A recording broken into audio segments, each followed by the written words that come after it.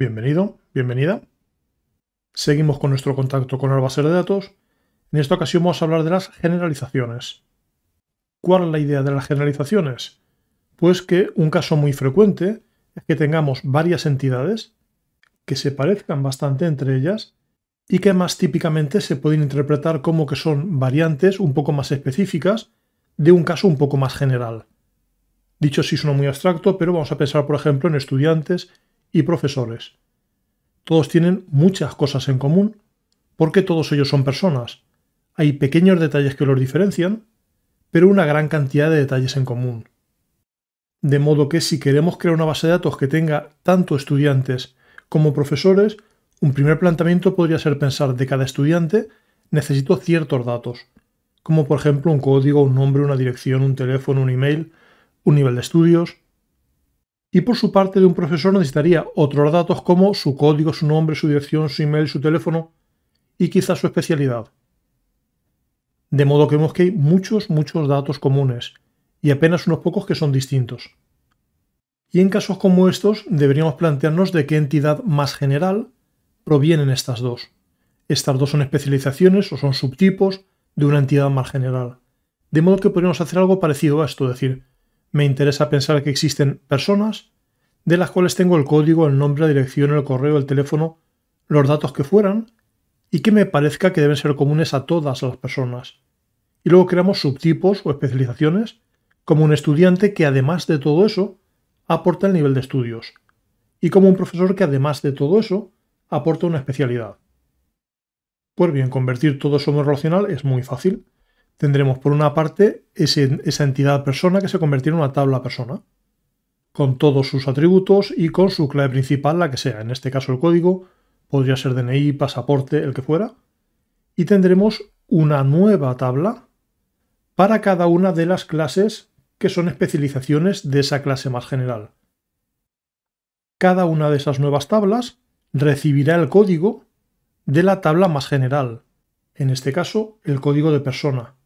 De modo que, por ejemplo, un estudiante tendría el código de persona y el nivel de estudios, y ese código de persona se comportará como clave primaria y también como clave ajena que permite enlazar con la tabla persona.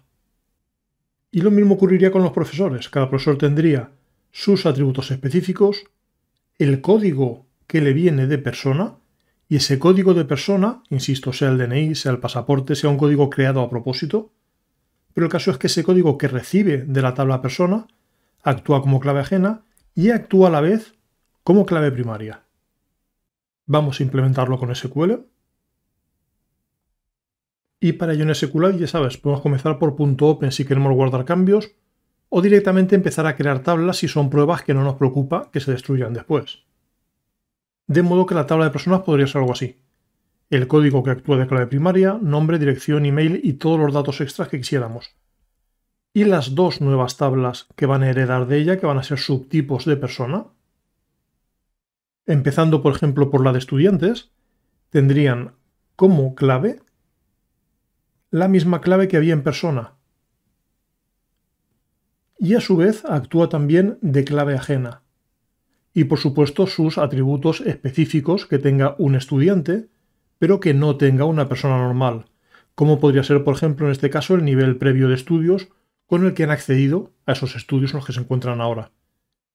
Y para profesores haríamos lo mismo, cada profesor tendrá su código de persona, que coincidirá con el código que haya en la tabla personas, por tanto será clave ajena, además de clave primaria, y típicamente tendrá también una serie de atributos que sean específicos de profesores y que no existan en todas las personas. Y para introducir datos comenzamos por los datos que son comunes a todas las personas, es decir, su código, su nombre, su dirección, su correo, los que fuera. Y luego en las otras dos tablas metemos los datos específicos de estudiantes y los específicos de profesores. Por ejemplo, las personas con código 1234 y 1235 podrían ser estudiantes mientras que la 1236 podría ser un profesor. Por ejemplo, así. Y para mostrar datos debemos cruzar ambas tablas si queremos datos de estudiantes o de profesores, por ejemplo. Con algo así, dime todo lo que hay en personas y estudiantes para aquellas personas que aparezcan también mencionadas como estudiantes, aquellas en las que el código coincide en ambas tablas, nos diría los datos, todos, incluyendo, podrás ver aquí, que el código repetido, el código aparece una vez en los datos como persona y otra vez en los datos como estudiante. Pero el caso es que tenemos su código dos veces. Tenemos su nombre, su dirección, su correo y su nivel previo de estudios. Para cada uno de los estudiantes. Para profesores podemos hacer algo parecido o podemos aprovechar para filtrar y pedir solo ciertos campos, los que nos interesen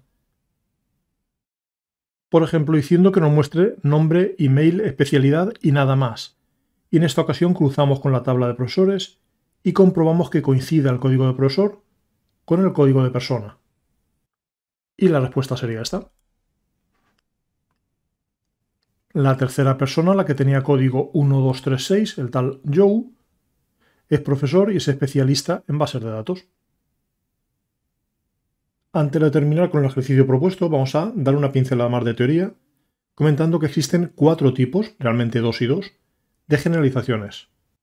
Por una parte, podremos distinguir entre generalizaciones totales o parciales. La idea está en que consideremos que es total cuando cubre todas las posibilidades que hay. Por ejemplo, si distinguimos entre hombres y mujeres o varones y hembras, en el caso de los bebés eso sería total. Cuando se nace o se es varón o se es hembra. Eso no quita que más adelante, cuando se hace más mayor, ese bebé deje de considerarse de ese sexo, se considere no binario, desea un cambio de sexo, lo que sea, cualquiera de las posibilidades actuales, pero inicialmente o se es varón o se es hembra. Con lo cual, si tenemos dos subtipos que sean bebé varón, bebé hembra, estamos cubriendo todo el espectro posible. Parcial es cuando no cubrimos todo el espectro, cuando hay más posibilidades que nuestro sistema lo contempla. Por ejemplo, si preparamos tipos de estudios y hablamos de estudiantes de informática y de estudiantes de derecho, de leyes, pero nosotros no cubrimos más en nuestro sistema de información, esa generalización es parcial, porque aunque nosotros no los contemplemos, existen otros muchos tipos de estudios. También se puede distinguir entre una generalización que sea o bien disjunta o bien solapada. Disjunta será cuando o se es de un subtipo o se es del otro y solapada cuando se pueda pertenecer a varios subtipos a la vez. Por ejemplo, disjunta puede ser el caso de los hoteles. Un hotel o es de tres estrellas o es de cuatro. En concreto, esa además es parcial, quedan los de cinco, los de dos, los de una. Pero o es de tres o es de cuatro, no puede ser de las dos cosas a la vez. En cambio, el caso que proponíamos de estudiantes y profesores, ahí sí que es posible que un profesor a la vez siga estudiando. Con lo cual habría personas que aparecerían tanto como profesor como, a la vez, también en la entidad de estudiantes. Pues ahora ya sí, vista esa pincelada de teoría, es el momento de intentar aplicarlo a un ejercicio. Podemos pensar, por ejemplo, en vehículos de combustión interna, es decir, coches, motos, camiones. En nuestro caso podemos pensar que de cada vehículo querremos la marca, el modelo, la cilindrada, por ejemplo, 2.000 centímetros cúbicos, y el precio, en tu moneda local, la que sea. Pero además querremos distinguir dos tipos de vehículos. Las motocicletas, para que nos interesará qué tipo de carnet es necesario para conducirla, porque en muchos países lo habitual es que haya distintas licencias que permiten conducir motos más o menos grandes, con mayor o menor cilindrada.